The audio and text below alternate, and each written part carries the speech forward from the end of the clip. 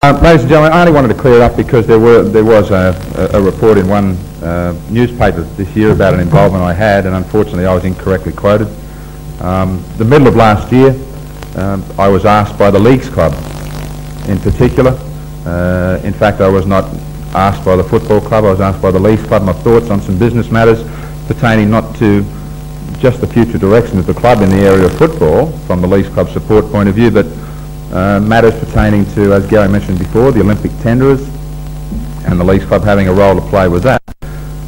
At the time, there was opportunities for them to pursue some meetings with some business people who I won't name at the moment, but as soon as I was presented with those names, I immediately suggested to the club that they would be crazy not to talk to News Limited, the most powerful media corporation in the world, and a corporation that has taken soccer from the doldrums to a to a higher level of a playing field in Europe.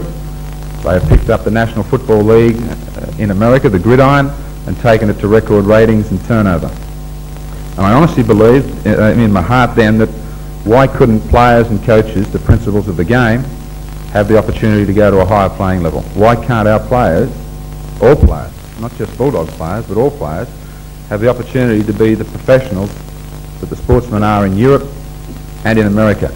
Why couldn't it happen? I believed in it. I never had personal meetings in any of those dealings with Ken Cowley from News Limited. I'd only met him twice in my life, and once was when I sued his newspaper. And he tried to talk me out of it, but thankfully on that occasion I won the court case.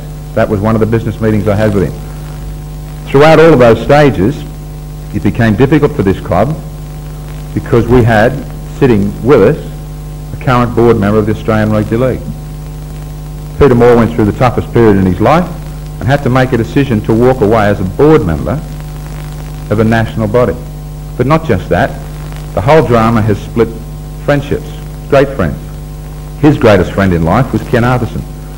If you could imagine that you have to make a decision, one way or the other, he had, on this given day, Ken Arthurson or his club. We all know there are things worth fighting for. He chose Canterbury Bankstown. It was a crucial period in this club's history, and he made a tough call. You know, I, I look around here today, today and I don't spend probably as much time as I should in this club, but I was here when it was Belmore Oval, then Sports Ground, and Berries to Bulldogs. Do you really think that we're going to walk away from the Gartners, the Charltons, the Mortimers, the Swanbergs, the Terry Lambs. Neville Horney's here today. Are we going to walk away from those? Do you think we're not going to embrace them? Do you think we're not going to embrace them into the Halligans, the Hetheringtons, the players of our future? I mean, that's loyalty. That's tradition. And we want to get on with it. I consider that in 1908, can we all understand what went through people's minds when they walked away from rugby and rugby league started? Can you imagine the terms? Traitors, rebels. You know why they did it? Money. They had ability. They wanted to get paid. And what's wrong with that? Some of us might grow up to be Garbos. Some of us might one day be Prime Ministers of Australia. Why can't we achieve what we want to achieve? And we're not going to get anywhere without money. And I laugh when I read some of the staggering comments about stop Murdoch now. Can we, anybody in this country, honestly believe that one of the greatest businessmen in the world might throw a couple of hundred million dollars at a game and long term it can't be better? Can you honestly believe that?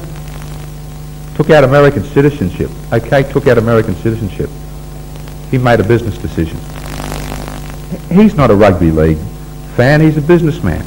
But he knows that if his businesses are running hand in hand with a great product, everybody stands to be successful. The Australian Rugby League had the opportunity when they commissioned their own report in 1991, the Bradley Report. Told them everything that they knew. They already knew that we had too many Sydney teams.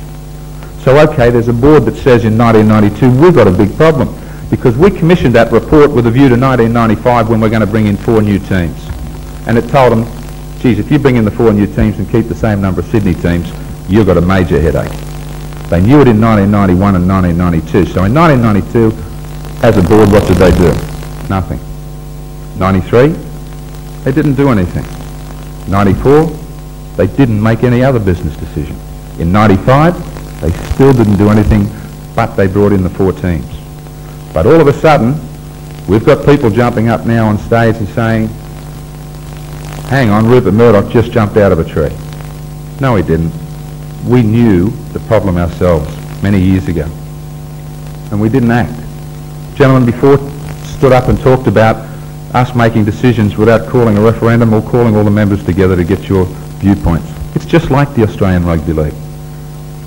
When you have a general meeting, when you have an opportunity and your board doesn't act, well then you have the right to vote them out.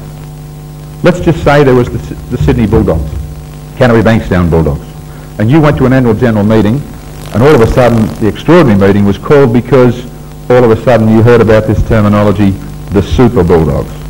And at that meeting you found out that this board was not aware of the Super Bulldogs five minutes ago. This board was aware that it could have happened five years ago. I wonder what your feelings would be at that meeting. You wouldn't have a lot of confidence in your board. If they were aware of it, should have been ahead of it four and five years ago. I'm not here to personally pick people out of the Australian Rugby League other than I do stand for the Australian Rugby League. I believe in what the Australian Rugby League stands for. I believe in its very best endeavours. But any organisation can be brought down by mistakes by individual people. If we get to the end of the compromise, I hope the ARL is still standing in a strong and official capacity. But our job is blue and white. Our job is getting on with our life and mingling our history and the names that I mentioned with those of our future. It's just a simple case of change. I honestly believed in it. And if my recommendations to the guys up here on the stage to go and speak to Ken Cowley of News Limited, if that is to cause trouble, if I am to be proved wrong, then I would apologise in time. And I would very simply walk away. Because I would not be, want to be a party to anything that stands and divides this club. I believe in it, and I believe that you can have a nation that can defend against an armed invasion. But the more I thought about Super League, you might be able to defend against an armed invasion, but you honestly and sincerely can't defend against a good idea whose time has come. Thank you very much.